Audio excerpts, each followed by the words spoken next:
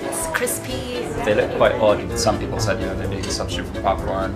Simply, I'd love to have more. In a lot of parts of the world, it's not considered food. This is delicious. This isn't your ordinary food tasting event. These adventurous Hong Kong diners are feasting on a tomato salsa, topped with roasted mealworms. Their culinary guide for the afternoon? Katrina Unger. You know, when I when I meet somebody on a on the plane, for example, and then uh, this person asks me, "Oh, "So what do you do?" And I say, "Well, I I grow insects for food." And they're like, "What?" Katrina's an industrial designer who wants to start a food revolution with this, the world's first desktop worm farm. It grows up to a half a kilogram of worms a week in a controlled microclimate, then harvests them with the push of a button.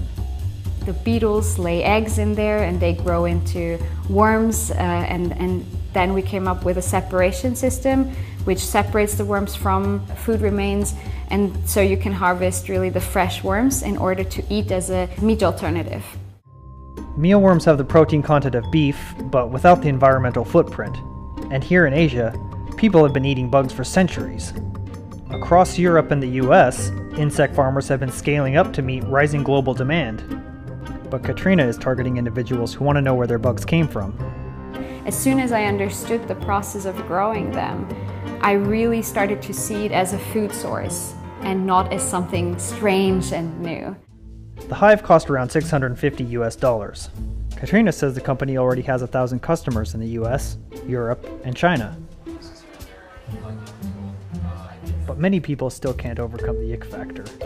So, insects might still have a long way to crawl before they end up on plates in most kitchens.